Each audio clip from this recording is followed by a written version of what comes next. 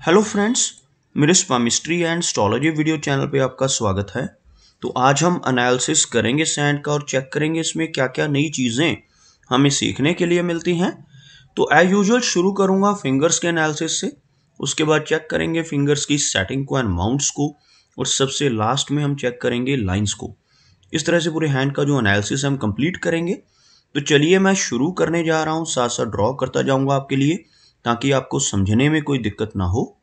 दोस्तों, वीडियो शुरू करने से पहले आपको बताना चाहूँगा, यह जो नंबर आपको आपकी स्क्रीन के ऊपर नज़र आ रहा है, यह मेरा व्हाट्सएप नंबर है।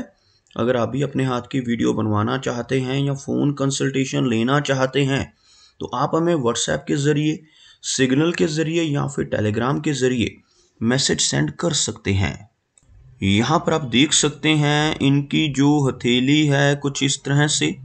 एक स्क्वायर शेप में नज़र आ रही है जो इंडिकेट करती है एक हार्डवर्किंग टाइप की नेचर को। और अगर इनकी फिंगर्स को चेक किया जाए तो आप यहाँ पर देख सकते हैं फिंगर्स काफ़ी अच्छी लंबाई में नज़र आ रही हैं और ख़ास तौर पर अगर देखें तो इनकी इंडेक्स फिंगर यहाँ पर आपको बहुत अच्छी लेंथ में नज़र आएगी। यह फिंगर जिसे हम बृहस्पति यानी गुरु की फिंगर भी कहते हैं, अगर अच्छी लंबाई में हो, अच्छी थिकनेस में मौजूद हो तो नेटिव काफ़ी नॉलेजेबल रहता है। साथ ही साथ थोड़ी सी इगोस्टिक टाइप की पर्सनैलिटी भी रह सकती है, लेकिन इस फिंगर का अच्छी लंबाई में होना नेटिव को काफ़ी अच्छी लीडरशिप क्वालिटीज़ भी दिलवाता है।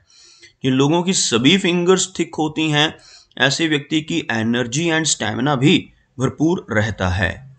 शनि फिंगर की बात की जाए तो आप यहाँ पर देख सकते हैं, बहुत अच्छी लंबाई में शनि फिंगर नेटिव को काफ़ी हार्डवर्किंग नेचर का बनाती है, ऐसे व्यक्ति एक डिसिप्लिन टाइप की पर्सनालिटी होते हैं, अनुशासन प्रिय और न्याय प्रिय टाइप की नेचर ऐसे नेटिव की रहती है, जिनकी शनि फिंगर अच्छी लंबाई में हो, अच्छी थिकनेस में हो और अपनी इन्हीं खूबियों की वजह से जीवन में काफ़ी अच्छी तरक्की कर पाने में ऐसे नेटिव कामयाब हो जाते हैं। अगर हम सूर्य फिंगर की बात करें, आप यहाँ पर देखेंगे बिल्कुल स्ट्रेट काफ़ी अच्छी लंबाई में इस फिंगर का होना एक बहुत अच्छी सोशल सर्कल को इंडिकेट करता है। ऐसे नेटिव काफ़ी क्रिएटिव नेचर के होते हैं, काफ़ी अच्छी आर्टिस्टिक क्वालिटीज़ ऐसे व्यक्ति के भीतर रहती हैं जिनकी सूर्य फिंगर अच्छी लंबाई में हो। अगर हम बात करें इनकी मरकरी फिंगर की, आप यहाँ पर देखेंगे बहुत अच्छी लेंथ में मरकरी फिंगर नज़र आ रही है। सूर्य फिंगर के टॉप फैलेंज तक पहुँचती हुई, इस तरह की लंबी मरकरी फिंगर का होना नेटिव के स्ट्रॉन्ग कम्युनिकेशन स्किल्स को दर्शाता है। काफ़ी अच्छी ऐसी क्वालिटीज़ काफ़ी अच्छा बिज़नेस एक्यूमेंट काफ़ी अच्छे कम्युनिकेशन स्किल्स ऐसे व्यक्ति के भीतर रहते हैं जिनकी यह फिंगर बिल्कुल सीधी हो और लंबाई में सूर्य फिंगर के टॉप फैलेंज तक पहुँच जाए। सभी फिंगर्स के ऊपर आपको कुछ सीधी खड़ी रेखाएँ भी नज़र आएँगी। इस तरह की रेखाओं का होना काफ़ी पॉजिटिव माना जाता है। आप देख सकते हैं कुछ इस तरह की बारीक रेखाएँ इनकी सभी फिंगर्स के ऊपर मौजूद हैं। ऐसी रेखाओं का होना नेटिव को मिलनसार स्वभाव का बनाता है। साथ ही साथ ऐसे व्यक्ति दूसरों के साथ बहुत अच्छे से पेश आने वाले भी रहते हैं। अगर आप देखेंगे यहाँ पर फिंगर्स में कुछ इस तरह के गैप्स मौजूद हैं। इस तरह के गैप्स का होना नेटिव को इंडिपेंडेंट स्वभाव का बनाते हैं। ऐसे व्यक्ति थोड़े ज़िद्दी नेचर के भी होते हैं और जो काम करने की ठान लेते हैं, उसको कर कर ही दम लेते हैं। कुछ इस तरह का स्वभाव फिंगर्स के बीच में बनने वाले गैप्स नेटिव को देते हैं। चलिए आगे बढ़ते हैं और चेक करते हैं इनके सभी माउंट्स को। उसके बाद हम चेक करेंगे इनकी सभी रेखाओं को भी। यहाँ पर अगर मैं एक लाइन ड्रॉ करता हूँ तो कुछ इस तरह की एक रेखा बनती हुई, जिसमें आप देख सकते हैं इनका गुरु पर्वत, शनि और इनका सूर्य। तीनों ही हाई सेट हैं, तीनों माउंट्स को बहुत अच्छी स्पेस मिलती हुई। जबकि इनका जो मरकरी माउंट है, यहाँ से आपको हल्का सा लो सेट होता हुआ नज़र आएगा, जिस वजह से थोड़ी शाही नेचर रह सकती है। अब देख सकते हैं ओवरऑल मरकरी माउंट हल्का सा लो सेट ज़रूर है, लेकिन बिल्कुल भी कमज़ोर नहीं है। यहाँ पर कुछ खड़ी रेखाएँ भी मौजूद हैं, जिसकी वजह से नेटिव के कम्युनिकेशन स्किल्स काफ़ी बेहतर हो जाते हैं। और इस फिंगर का भी अच्छी लंबाई में होना नेटिव को मरकरी के अच्छे रिजल्ट्स दिलवाता है। अगर हम बात करें इनके सूर्य माउंट की तो आप यहाँ पर देखेंगे सूर्य माउंट का जो एरिया है, दबता हुआ आपको नज़र आएगा। इस माउंट का दबना अच्छा नहीं माना जाता। सूर्य माउंट के दबने की वजह से नेटिव को यश मिलने में कमी महसूस हो सकती है। ऐसा व्यक्ति दूसरों के लिए कितना भी काम कर ले, दूसरों की कितनी भी हेल्प कर ले, बदले में कोई एप्रिसिएशन या रिवार्ड नहीं मिल पाता जब सूर्य माउंट दब रहा हो। शनि माउंट की बात की जाए तो आपको यह माउंट बिल्कुल फ्लैट नज़र आएगा, जिस वजह से नेटिव को जीवन में काफ़ी मेहनत करनी पड़ सकती है।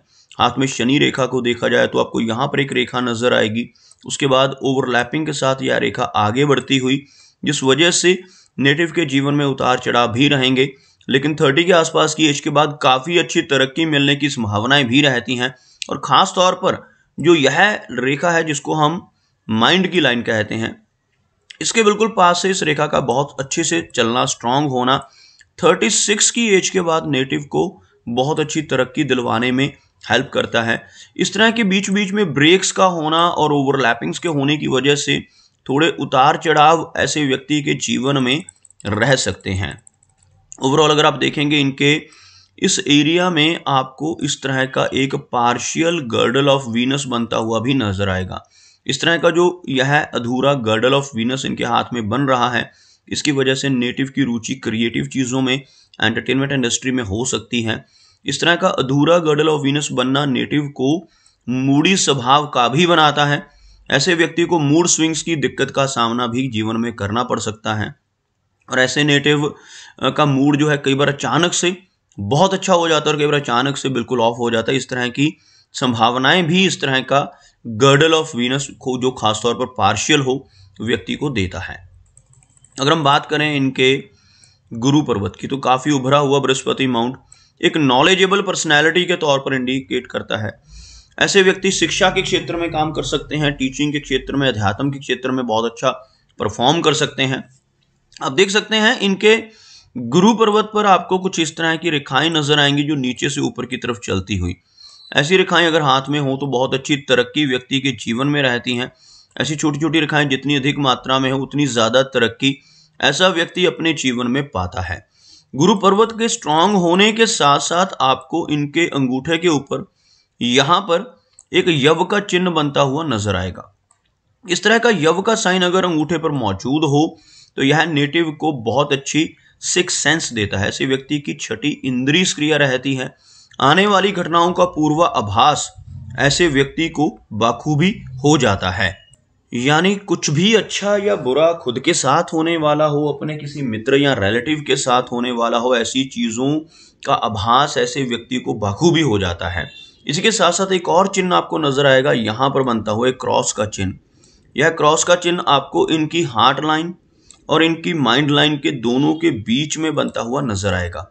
इस तरह का क्रॉस का चिन्ह जिसको मिस्टिक क्रॉस का नाम दिया जाता है, ऐसा चिन्ह होने से नेटिव की रुचि ओकल्ट साइंसेस में रहती है, जैसे यह पामिस्ट्री है, एस्ट्रोलॉजी है, वास्तु है, रेकी है, ऐसी चीज़ों में रुचि अधिक हो सकती है और ऐसे नेटिव इन चीज़ों में से किसी चीज़ को सीखने की कोशिश भी कर सकते हैं और उसमें कामयाबी हासिल भी कर सकते हैं, जिनके हाथ पर इस तरह का मिस्टिक क्रॉस हार्ट लाइन और माइंड लाइन के बीच में बनता हो। आगे बढ़ते हैं और चेक करते हैं इनकी मेजर रेखाओं को, उसके बाद हम चेक करेंगे इनके लोअर माउंट्स को भी। तो यहाँ पर अगर मैं इनकी हार्ट लाइन की बात करूँ तो आपको एक बिल्कुल स्ट्रेट टाइप की हार्ट लाइन नज़र आएगी। इस तरह की हार्ट लाइन व्यक्ति को काफ़ी प्रैक्टिकल बनाती है, लेकिन साथ साथ यह जो ब्रांच आपको गर्डल ऑफ़ वीनस की नज़र आएगी, इस तरह की ब्रांच होने की वजह से नेटिव कई बार काफ़ी ज़्यादा इमोशनल मूड में भी देखा जा सकता है। थोड़ी इमोशनल टाइप की पर्सनैलिटी, इमोशनल टाइप का टच इस तरह की ब्रांच जो ऊपर की तरफ़ रहती है, व्यक्ति को देती है। लेकिन ओवरऑल इस तरह की स्ट्रेट हार्ट लाइन का होना अच्छा माना जाता है, ऐसे व्यक्ति काफ़ी प्रैक्टिकल स्वभाव के देखे जा सकते हैं। हार्ट लाइन पर नीचे की तरफ़ ऐसी छोटी छोटी ब्रांचेस का होना कई बार इमोशनल सेटबैक्स को बढ़ाता है। यहाँ पर आप देखेंगे इनकी हार्ट लाइन में हल्का सा टिल्ट नज़र आएगा इस एरिया में आकर। इस तरह का टिल्ट नेटिव को लेटर एज में चलकर थोड़ी दिक्कतें ब्लड प्रेशर जैसी प्रॉब्लम्स दे सकता है। अगर हम माइंड लाइन की बात करें तो आप देखेंगे माइंड लाइन काफ़ी अच्छी लंबाई में नज़र आ रही है। इस तरह की मस्तिष्क रेखा का होना इंडिकेट करता है कि नेटिव की मेमोरी अच्छी रहने वाली है। यहाँ पर आप देखेंगे, थोड़ा सा एक लोअर साइड पर चलती हुई रेखा का आगे बढ़ना, जो थोड़ी ओवर इमेजिनेशन को इंडिकेट करता है। इस तरह की एक ब्रोकन लाइन साथ साथ चलना नेटिव की इमेजिनेटरी पावर को बढ़ाता है। ऐसे व्यक्ति की कल्पनाशीलता काफ़ी अधिक रहती है और इसी ओवर थिंकिंग की वजह से कई बार नेटिव को थोड़ा स्ट्रेस या तनाव होने की संभावनाएँ भी बढ़ जाती हैं। चलिए आगे बढ़ते हैं और चेक करते हैं इनकी लाइफ लाइन को। तो आप यहाँ पर देखेंगे, कुछ इस तरह से इनकी लाइफ लाइन फेट लाइन का सहारा लेते हुए काफ़ी आगे तक बढ़ती हुई। इस तरह की लंबी लाइफ लाइन का होना इंडिकेट करता है कि नेटिव की एज काफ़ी लंबी रहने वाली है, लगभग 80 के आसपास की एज रहने की संभावनाएँ रहती हैं। कुछ इस तरह की ब्रांचेस का बाहर की तरफ़ निकलना लंबी दूरी की यात्राओं को इंडिकेट करता है। ऐसे व्यक्ति जीवन में काफ़ी ट्रैवल करते हैं, विदेश यात्राएँ करने का मौका भी ऐसे व्यक्ति को अपने जीवन में ज़रूर मिलता है। आप देखेंगे यहाँ पे, कुछ हल्की रेखाओं से आपको कुछ फ़िश जैसी आकृति यहाँ पर इन रेखाओं से बनती हुई नज़र आएगी। इस तरह का चिन्ह अगर केतु पर्वत के ऊपर बने तो यह नेटिव को लाइफ में कई बार लंबी दूरी की यात्राएँ देता है। विदेश यात्राओं के साथ साथ ऐसे व्यक्ति को जीवन में कई बार अचानक धन लाभ होने की संभावनाएँ भी बढ़ जाती हैं। इस तरह की फ़िश का सिंबल होने से कई बार इंश्योरेंस के ज़रिए या इनहेरिटेंस के ज़रिए धन मिलने की संभावनाएँ काफ़ी अधिक रहती हैं। चलिए आगे बढ़ते हैं और चेक करते हैं इनके लोअर माउंट्स को। अब यहाँ पर देखेंगे इनका वीन, इनका चंद्र पर्वत का एरिया यहाँ पर बहुत ज़्यादा नेगेटिव चिन्ह नहीं है, कुछ हल्की आड़ी रेखाएँ मौजूद हैं, जिस वजह से थोड़ी एंग्जाइटी नेटिव को रह सकती है, लेकिन कोई भी मेजर इशू हमें इनके चंद्र पर्वत के ज़रिए नज़र नहीं आ रहा। अगर हम शुक्र की बात करें तो शुक्र का एरिया आपको यहाँ पर काफ़ी उठा हुआ नज़र आएगा। उभरा हुआ शुक्र पर्वत नेटिव को जीवन में हर तरह की सुख सुविधाएँ दिलवाता है। ऐसा व्यक्ति हर तरह की लग्जरीज को एंजॉय करने वाला होता है। फैमिली के सुख ऐसे व्यक्ति के जीवन में रहते हैं जिनका शुक्र पर्वत उभरा हुआ हो। लेकिन साथ ही साथ आपको कुछ हल्की बारीक रेखाएँ भी नज़र आएँगी, जिन्हें हम वरी रेखाएँ, यानी कि चिंता की रेखाएँ कहते हैं।